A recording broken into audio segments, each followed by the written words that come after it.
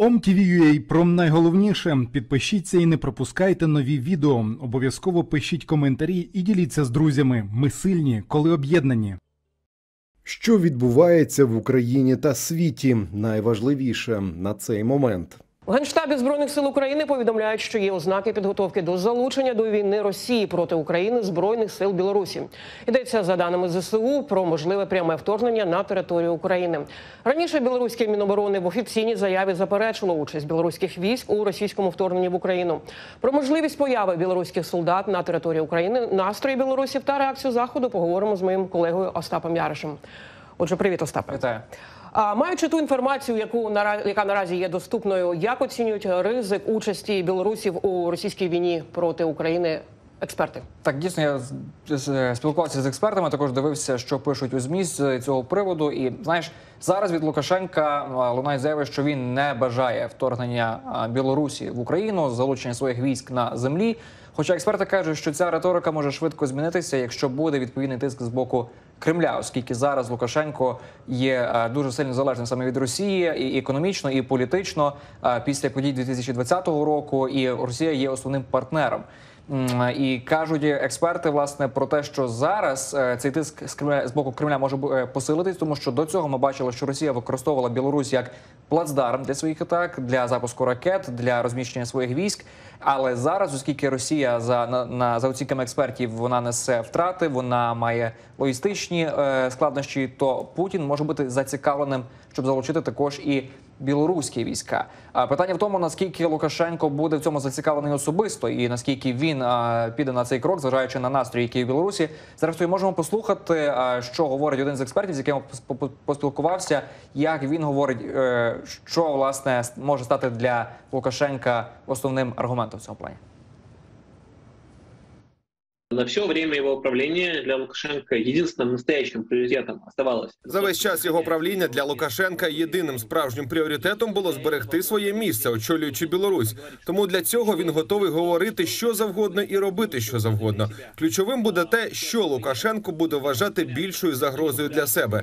Участь у війні, при тому, що це не популярно серед білорусів, і не зрозуміло, як себе поведе армія. Це величезні ризики і зовсім не зрозумілі для Лукашенка переваги. А з іншого боку підтримка Путіна, адже з осені 2020 року саме підтримка Москви дозволяє Лукашенкові залишатись на своєму місці, і він не може дозволити собі цю підтримку втратити. Не, не можете.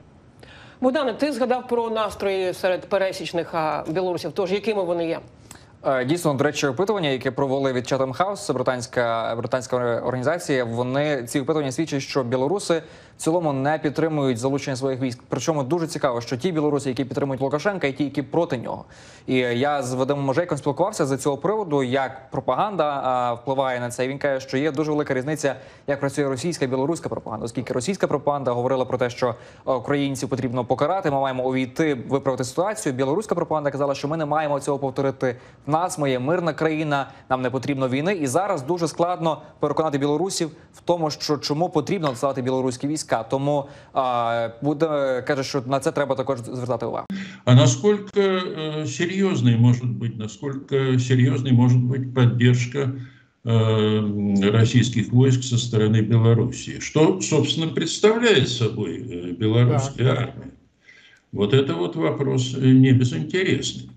Но для начала скажем, что Лукашенко, как и многие диктаторы такого типа, он в первую очередь заботится, конечно, о своих э, о своих службах безопасности, которые обязаны его охранять, подавлять оппозицию и так далее и тому подобное, выявлять значит, всяких супостатов в ближайшем окружении. Это типичная для, для любого диктатора практика. А вот армия, армия всегда диктатором воспринимается как э, нечто такое опасное, потенциально опасное или реально опасное. Поэтому э, Лукашенко, в общем, не уделял больших, э, больших э, не, не проявлял большую заботу о белорусской армии. И вот что мы имеем? Ну, в точнее, что имеет Лукашенко, на самом деле, не мы имеем. Значит, э, если общая численность белорусской армии 65 тысяч человек, это казалось бы много. Но э, те м, войска, которые могут быть использованы для войны в Украине, это сухопутные войска, Э, потому что все остальное э, как-то особенно, э, особенно даже российским, российским так сказать, старшему брату и не нужно. Значит, это 17 тысяч. 17 тысяч человек. Это значит, три бригады механизированной пехоты, ну, это аналог российских мотострелков примерно, плюс одна артиллерийская бригада. Это опять-таки не так, чтобы много на самом деле. Значит, три механизированные бригады это имеют на вооружении 120 танков. Это серьезная добавка, но э, не та добавка, которая может решить э, судьбу, судьбу войны. И вот еще что нужно сказать. Это вот важный момент, на мой взгляд, что соотношение в сухопутных войсках э, белорусских, соотношение офицерского состава и рядового состава, ну, рядовые плюс сержанты, составляет, эм, составляет один к двум. То есть это кадрированные части, где очень, э, ну, на каждого офицера приходится два солдата, один сержант, два солдата или, или солдат и сержант. То есть это офицерские части – которые в случае войны необходимо, э, необходимо пополнять, сильно пополнить личным составом, для того, чтобы они были ну, более или менее боеспособны.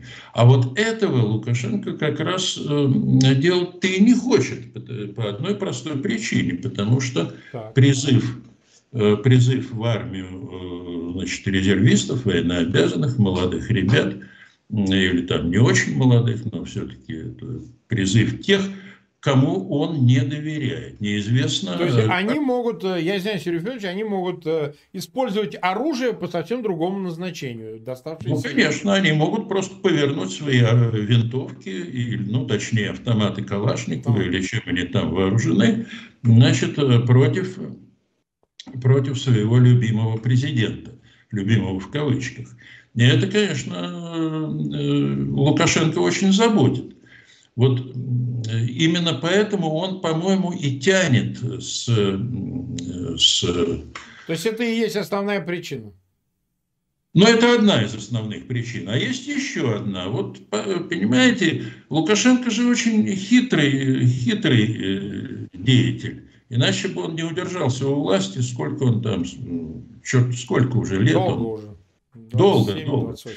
Вот. Э, и ему, как мне представляется, но ну, это моя, моя личная оценка, хотите верьте, хотите нет, мне кажется, что все-таки ему очень хочется сохранить э, как бы руки, ну, не совсем грязными, вот не брать на, на себя лично э, слишком много крови.